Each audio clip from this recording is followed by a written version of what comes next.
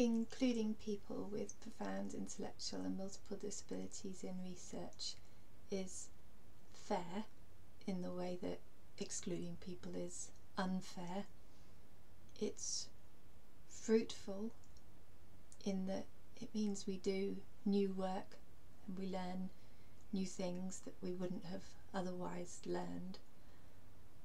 But ultimately, the argument that I'm making in my thesis is that the worth of pushing for that next step in inclusive research, of having people with profound intellectual and multiple disabilities taking part in research as researchers rather than subjects or objects of research isn't justified based on fairness or fruitfulness, but through a basic recognition of the existence of these people as fact.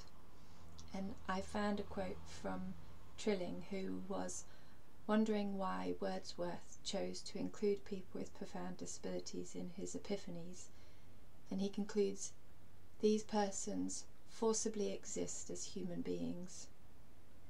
Reinders says people with profound disabilities can be understood as the rule of what it means to be human instead of the exception, and Vorhaus points to their belonging in humanity. So excluding them risks a narrower account not just of disability but of human experience.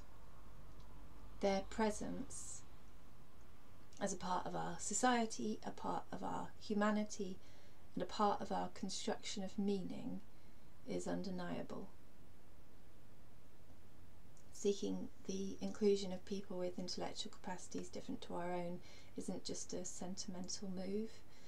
People with profound intellectual and multiple disabilities present significant challenge to belief in human equality.